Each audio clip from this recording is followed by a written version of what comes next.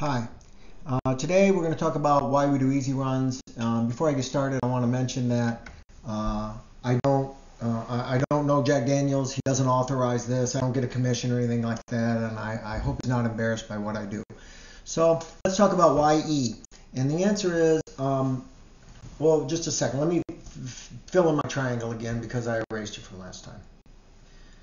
So the reason we do E is because it, during the easy running is when we get stronger. At the end of a workout, you get really tired, right?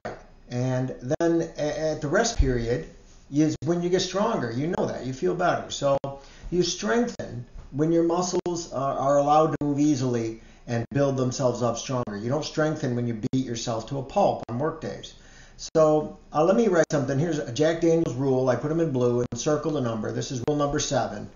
Eat and sleep well. It can't be emphasized enough. You have to feel good for your workouts.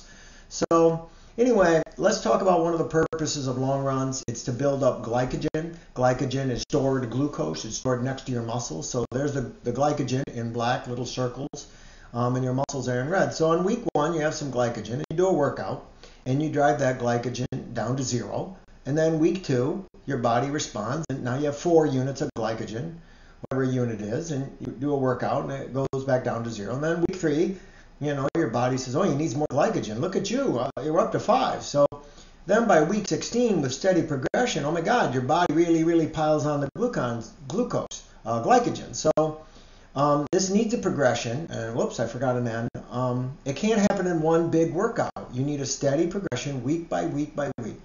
And this all happens from comfortable, easy, long runs. So um, you need a, muscle movement, and, and, it has to be easy. So um, let me show you a little graph. We'll see this more. Here's workout time from zero to one or two hours, whatever.